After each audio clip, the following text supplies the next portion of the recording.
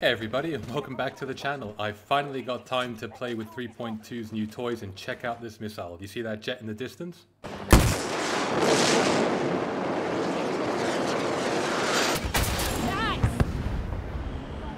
The speed, range and control buffs to uh, Lis' missile are absolutely brilliant from a user's point of view, a nightmare from a pilot's point of view. And I'm beginning to believe that maybe, just maybe, the age of tyranny of the Nightbird and the Stealth Chopper pounding everybody just might finally be over. Before 3.2, you would have got away with this, dropping your stealth bombs from on high, staying in stealth mode and thinking you were safe. Not in 3.2.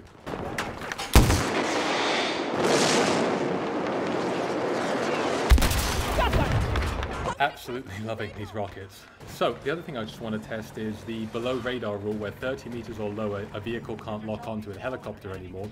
And with a reduced number of um, rocket launchers on the field now, does that improve the survivability of the Apache?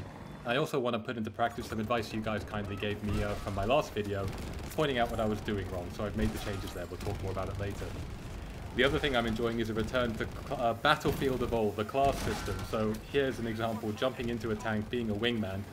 And now when it comes down to repairing, particularly if the vehicle's now using the active protection system, us engineers, we have our repair torch back. Uh, I remember doing this as early as Battlefield 2, and I am very, very much enjoying the return to that classic gameplay. The other big thing for me, I know I'm late and many of you have probably already seen it, um, I'm really enjoying the rework of the breakaway map. So you've got these new areas like you're seeing here. This is uh, E1. It's a little uh, crash site that you now need to capture and also in the top left you're seeing the new redesigned rig which is much more prominent and we're getting a lot more action on it so I'm really enjoying that. So for those who are new to the channel, what we do here is the rule is we play for one hour or less and then show you honestly outtakes from the gameplay in that evening for what you can realistically expect if you were to put your time here and basically demonstrate that Battlefield is a fantastic game for people who may be a bit time poor. Based on some feedback and some success on the Overwatch videos I've been doing, I'm going for a different structure here where, where rather than going for like chronologically showing you what happened and trying to weave it together taking out the filler, I've instead grouped events into themes. So, for example, Lis' missile launcher, flying the Apache, using the Hind, etc., to see if it brings a bit more structure. I'd really love your feedback. Please do let me know if you're enjoying it. All right, let's get into it.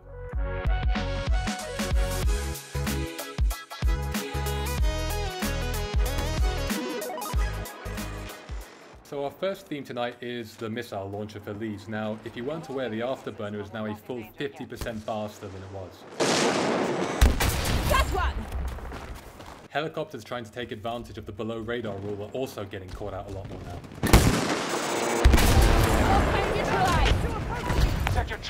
On this next one, just watch how the Afterburner closes down the stealth chopper before it can make the turn and get away. Got one! You can Vehicle deliver support. neutralized! Call in if you need it. I think this next one demonstrates how a Nightbird pilot here genuinely thought they were out of range and not at risk. Not only are they 50% faster, they now go 33% farther with 3.2.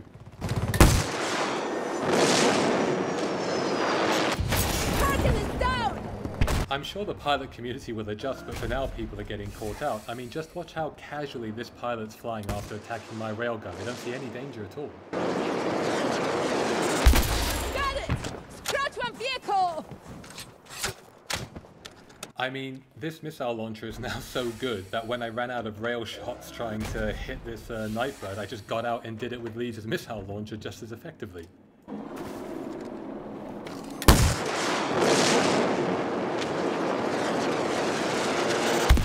Target is down! Like I say, I think maybe word's not out about the changes yet, and a lot of pilots just don't see it coming. By the way, just to prove I can hit a Nightbird with a railgun.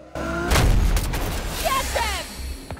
Railguns on the backline were causing us no small degree of problems, and we'll get to that later in the video. In addition to the speed, you also have much better control in the missile now too.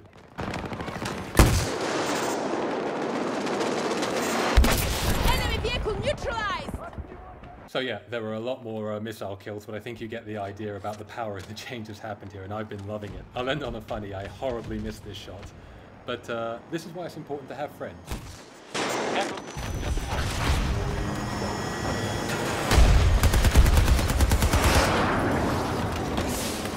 Thank you very much, Mr. Jet Pilot. You uh, absolutely saved me there. Right, so in this next section, I had one run, and only one run really, with the uh, Apache, and now I get to try it out, particularly with below radar, and implementing the changes that you guys recommended I make to my gameplay and my loadout. So now I'm using the 127mm missiles and the TOW rocket. Let's see how we go.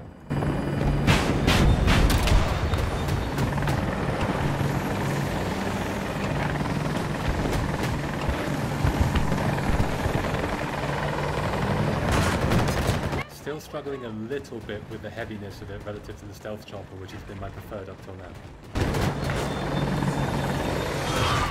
Okay, good little dodge there, and here's my chance. TOW missile time. Nice. I mean, I know it was heavily damaged, but uh, much better than using one of those AGM missiles, so thank you for that advice. Um, staying below 30 meters so I can't be locked onto. Let's see if we can uh, catch anyone else out. Support drop available whenever you're ready. Yeah, I'm still not convinced about these missiles. I still think they're quite inferior to having either the 30mm cannon that the Hokum has or the machine gun coming on the Nightbird or on the Stealth Chopper. I'm to need more convincing that these are actually better.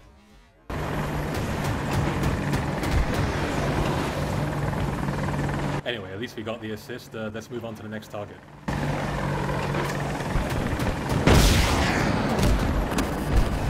Disappointed that didn't connect. Anyway, play on.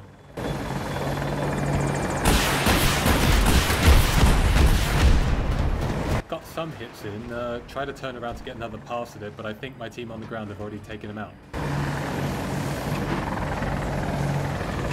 Anyway, while looking around for another vehicle, I start taking some incoming fire, so I back off and loop around so we don't get taken down too early. I'm trying to hold on to the chopper and survive. Seeing fire, weekend, there's a long way to go. Good hit from the TOW. Can we finish up?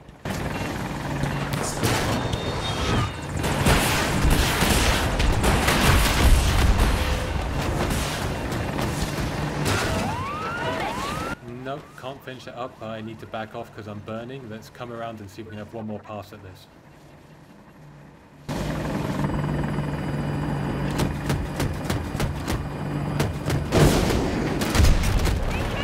Again, a good hit from the TOW, but can we finish it? That's the key test.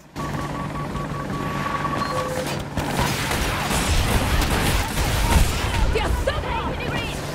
70 There we go. Uh, finally, we got a clean, somewhat independent uh, take out of the tank using the new modification. And yes, it was significantly better and significantly faster than the way I've been doing it previously. So thank you for the advice, and I shall keep practicing to see if I can make more out of the Apache. I still think it's inferior to the Stealth Chopper. My mind is not changed yet, but I am willing to give it a chance. Let's play on.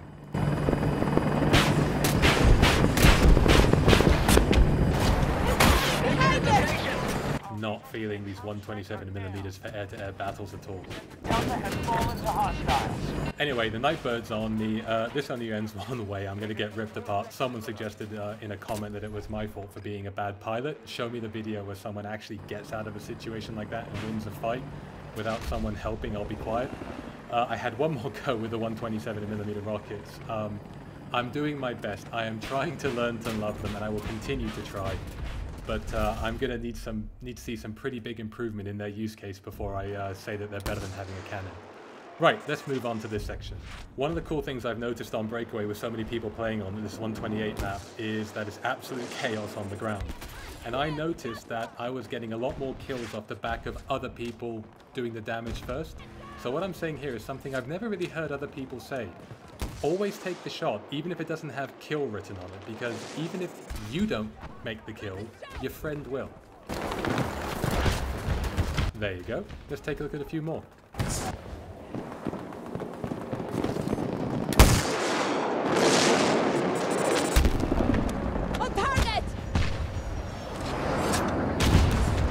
Perfect teamwork with someone I didn't even know. We hold more sectors than the enemy. Our troops have secured an objective. Keep going!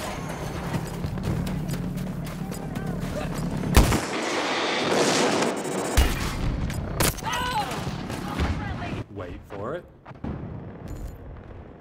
Lovely. I can die happy knowing we took it down.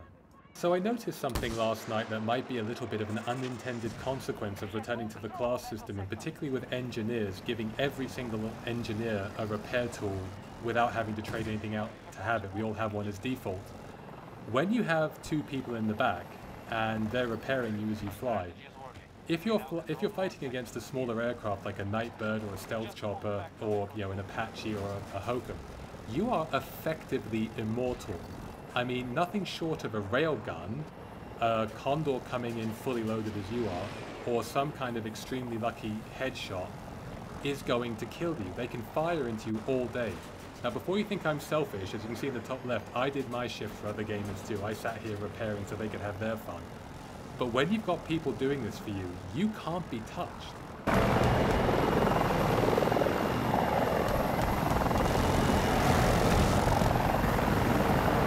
So shortly after bullying him out the sky, another Nightbird has a try. Nothing home to those sectors.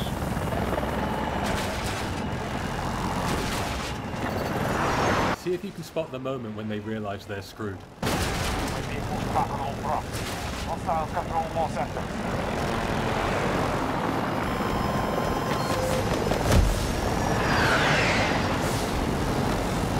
The enemy has secured Echo 1.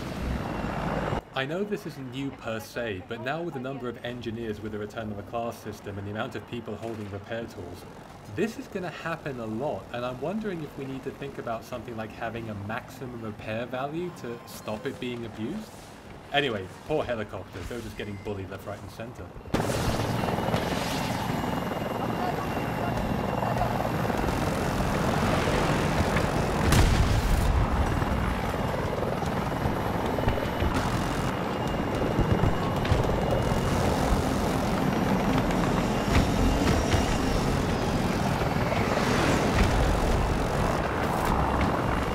It does help when you have the full crew granting you the gift of immortality and immense firepower. Right, so moving on from bullying the helicopters, uh, let's go have a look at the top of the map. So this is E2. It's not new per se, but it is a reworked um, uh, point sector that needs to be captured.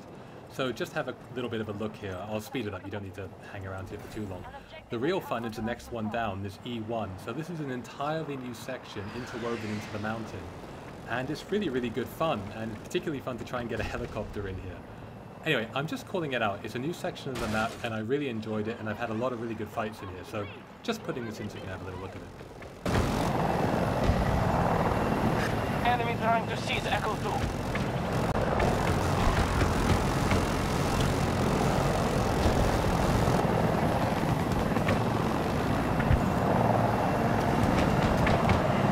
So you can see the fight point is a downed condor. That's uh, the objective they need to capture.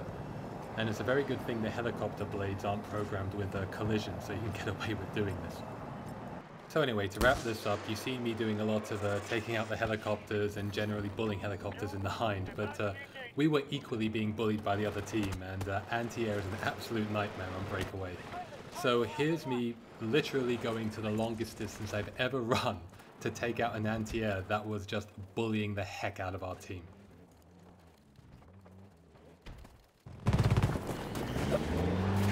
Sector Delta under Allied control.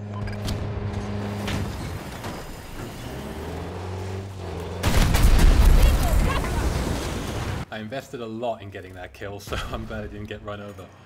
Right, conscious of the time, 13 minutes, a bit over actually, so I'll leave you with this. Uh, one of the things I noticed on Breakaway is you have railguns sitting on the back line, just firing in, but sitting in an area where vehicles can't get to them. And if nobody's equipped their aerial vehicles with anti-air, uh, with anti-vehicle, sorry, there's absolutely nothing you can do about them. So I decided to make myself into a human cannonball. What do you think? Is this unsporting conduct? I think it's fair. If you're going to sit in the spawn, anything goes. Anyway, thank you very much for watching, particularly if you made it all the way to the end. I really, really appreciate it, and uh, I hope to catch you with the next video. Please, enjoy 3.2. It's a brave new world, and I'm absolutely loving it so far. Return to the fight!